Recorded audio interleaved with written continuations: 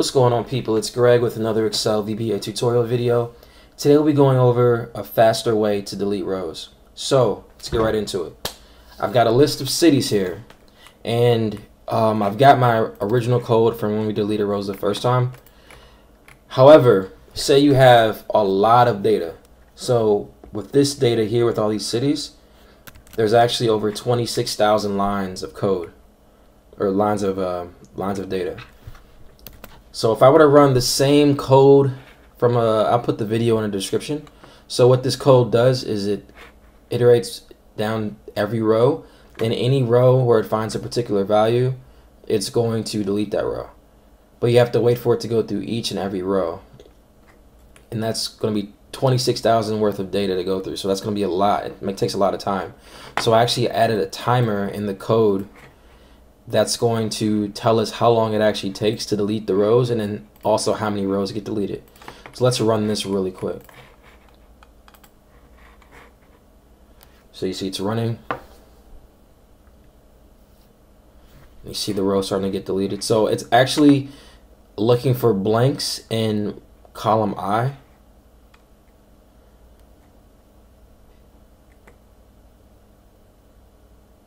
Still going.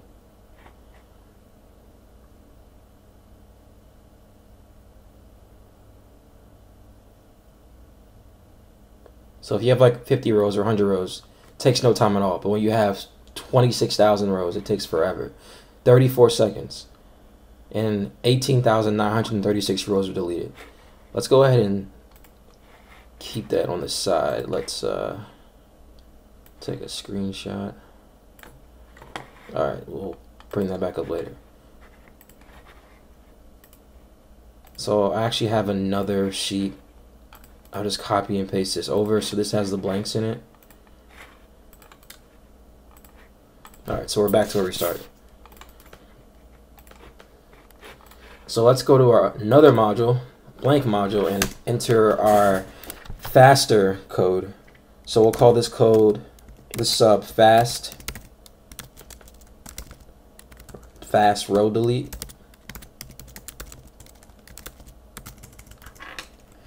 Let's declare our variables. We'll do a, a start. That's going to be the start um, the start for our timer. So we're going to know how many rows we started with. So that's going to be long. Then I'm going to do um, count the columns and I'm going to count the rows.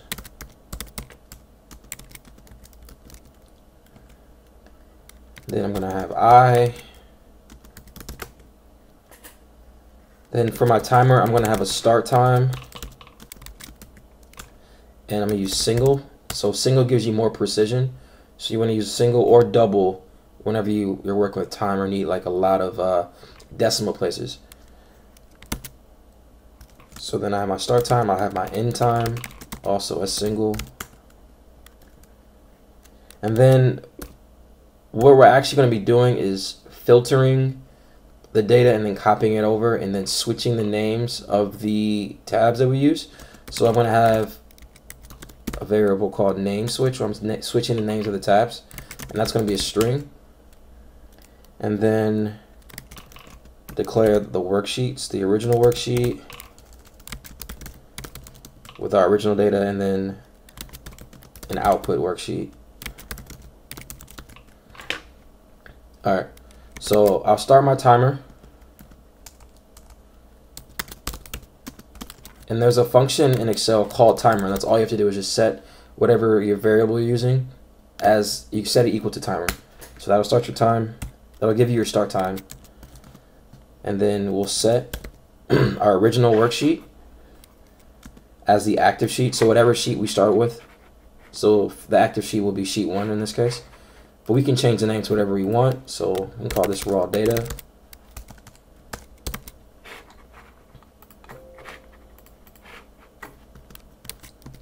So that's active sheet. And then name switch, right? It's going to be equal to the the name of the original sheet we use. So at this point, name switch is going to be equal to raw data. So I'm setting original equal to active sheet, and then the name switch is going to be equal to the name of this active sheet. And then I'm going to add a new sheet.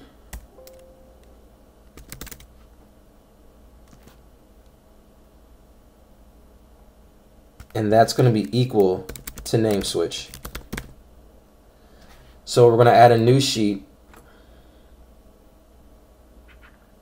Sorry, before that, we have to actually change the name of this sheet here. We're going to change it to, we'll just call it temp. It's going to be our temporary our temporary sheet. So this original sheet will become our temporary sheet because we're going to copy the data from this sheet that we want over to the new sheet. And then when we to that new sheet's going to have the name of the original sheet. Hope that makes sense. So now we're going to set our output sheet equal to the new sheet that we just created.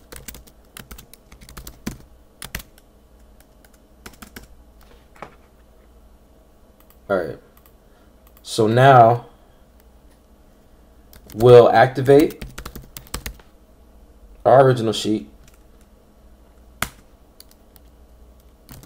and count the columns. So at this point, we don't have to worry about any of this code because we have our original and our output sheet set. So all I have to do is keep that in mind. So now we know our original sheet is this and our output sheet is going to be the new sheet we create going forward.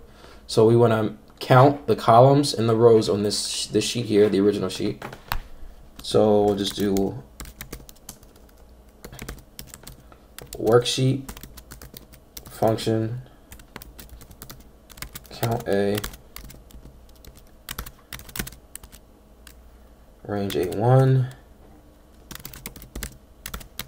do that again a1 and we're going to count to the right to get the columns. So xl to right. And then three close parentheses. And then we're going to count our rows the same way, except instead of counting to the right, we're going to count down. So we're going to do XL down. So now we know how long, how big our range is going to be. And at this point, I'm going to go ahead and have start, which is the start, the number of rows at the beginning, is going to be equal to the columns. So that's there.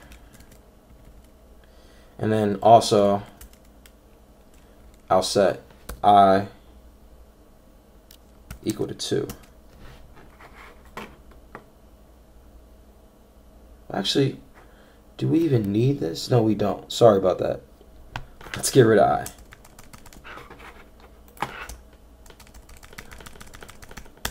All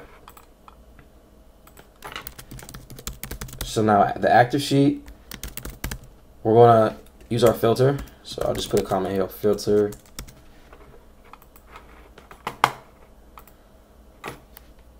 Um,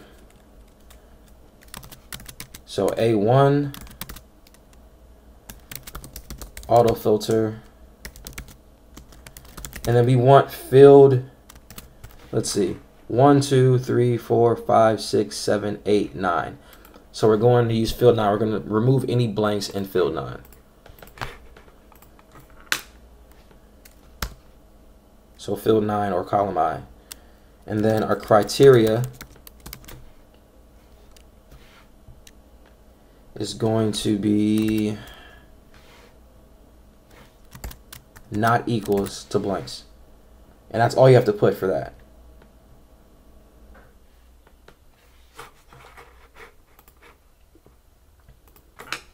And now we're going to copy data over with the following code. So we want to use the original sheet and we're going to start off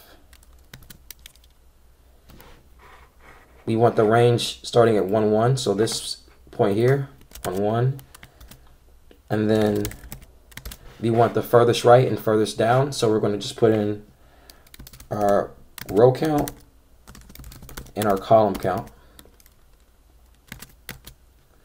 And then feel like I'm running out of space, so I'm just going to go ahead and use an underscore to keep it going, keep the line going. And we're going to do special cells,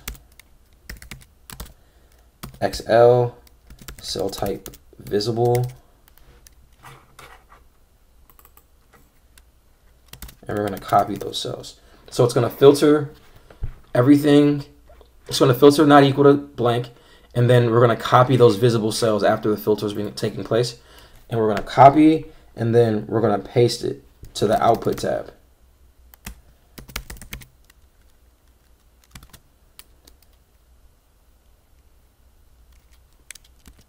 I'm just going to paste it to 1, 1. It's going to be paste special.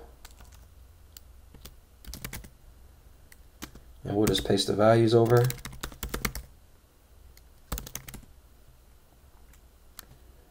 And then we'll turn off the copy cut mode, or cut copy mode? Turn that off. So we'll just set it equal to false. And then we'll get rid of the filter so it'll show all data on the original sheet. And then we'll also turn the auto filter mode off.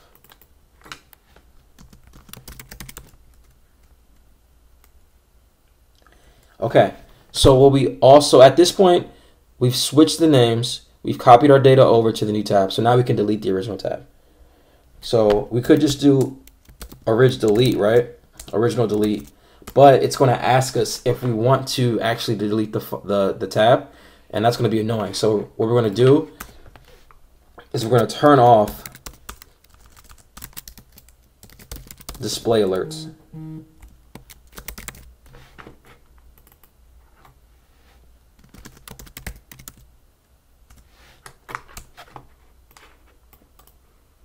And then we can just turn them back on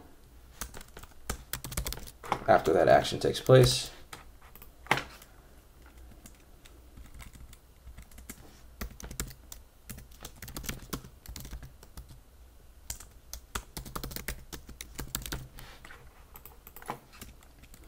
All right, so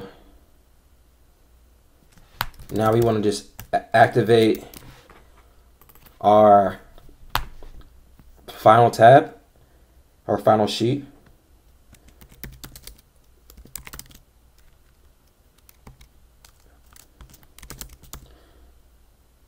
And I like to just select the um, this cell here. So let's say this is like highlighted or something. I like it to just come back and just select that cell so it's cleaner. So we'll just do that. A1 select. And then I'm going to count the number of rows we have now. So I can just bring this back into play. So we have our start equal to the count row from the original set of data, and now we'll have count row on the final set of data. And we're going to use this to determine how many rows were deleted. And I can also get the end time for my timer. And I've already got this code here. So I'll just copy and paste it over on module 2. So it's just going to be a message box that says rows removed and then it gives me the start row count which is here and it subtracts the final oh be row yep subtracts the final row count. And then if there's a, this formatting gives you commas. Otherwise, it'll just have numbers without commas. And this just makes it look a little cleaner. And then it'll say the number of rows. And then VB VB new line gives you a, a, a gives you like a paragraph break or a line break in your message box. So the next line will say time elapsed. And then I'll have my end time, which is here, minus my start time, which is here and I know how many seconds it took for this process. All right, so we can go ahead and run it now and see what we got. Boom. So just like that. Same action, right? If you want to compare so what we had previously. So the same number of rows were deleted. However, there's a difference of over 34 seconds. Took 34.26563 seconds with the prior code and only 0.1953125 seconds this time. So it's a huge difference. Um, saves a lot of time. One more thing though. So say that the actual name of your sheet is temp. It will mess up the code, I believe. Right? Yeah, see? So what we can do is just throw an if statement in there. Let me unhide sheet 2. So I'm to copy this and paste it over here so I can get my, my blanks back. Yep. Okay, so so the the rare chance that your original sheet name is actually temp, in order to prevent messing up your code, um, you can just do this. So if the original name is equal to temp, then you can just say original name is equal to, let's just say temp1, else the original name is equal to temp. So if, it, if the original name is equal to temp, we'll name it temp1 instead, instead so we won't have any issues. Otherwise, it'll just name it temp. All right, so let's try running it again. So the spaces are here. This is called temp now. Run it, and we're good to go. Cranked it out in 0.25 seconds. So yeah, that's all I have for today. Thank you so much for watching. Make sure to like, comment, subscribe, and let me know of any topics you want me to cover. Um, have a good one.